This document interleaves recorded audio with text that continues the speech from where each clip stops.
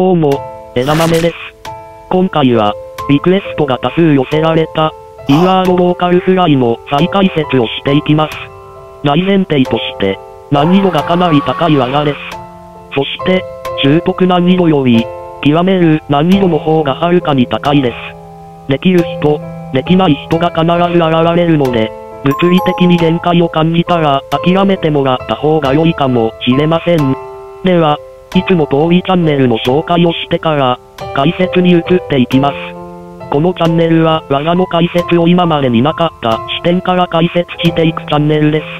ビートボックスを最近始めたという方や、他の方の解説を見てもいまいち、といった方におすすめできるチャンネルなのでもし、そういう方々がいましたら、チャンネル登録をしておくことをおすすめします。では、本編参ります。デモ演奏です。冒頭では、実際に技を使ったビートをやりましたが、技単体でいろんな使い方をします。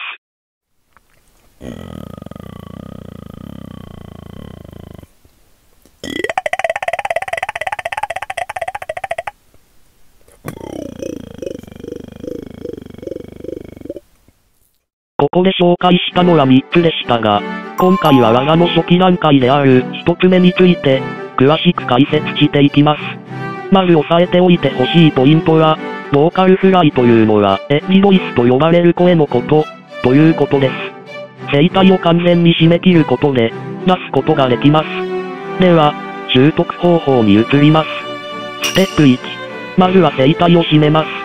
声帯を締める方法は、は、と発声して、を言い切ったところで止めます。体感的には、喉の奥で何かが閉まった感覚があったと思います。この状態では、息も止まっていますが、この状態を維持しましょう。ステップ2、その状態で口を軽く開けて、舌を引きましょう。この時、喉の浅いところまで空気が若干入ってきたのがわかりますか？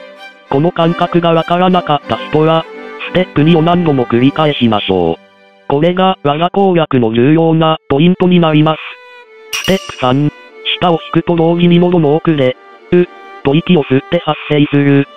舌を引いて息が入ってくるのに臨場させて、息をほんの少しだけ吸います。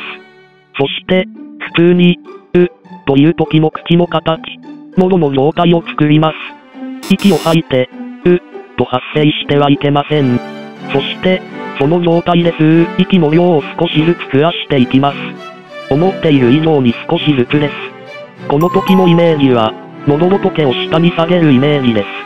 入ってくる空気の流れに合わせ、ゆっくりと喉仏を下に下げていきます。そして、吸う息によって声帯が震え始め、ノイズのような音が出始めたら、その感覚を忘れないようにしてください。その音を広げていくことで、インワードローカルフライになります。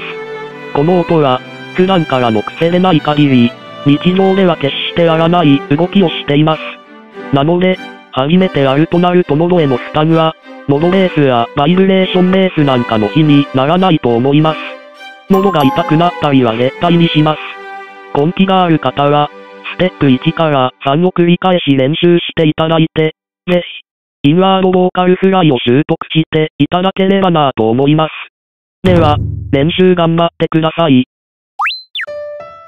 いかがでしたでしょうか？練習する手順をできるだけ細かく説明させていただきました。ここまで見てくれたのであれば、ぜひとも高評価、チャンネル登録をしていただいてからブラウザバックをしてほしいなぁなんて思います。では、また次回の動画でお会いしましょう。バイチャ。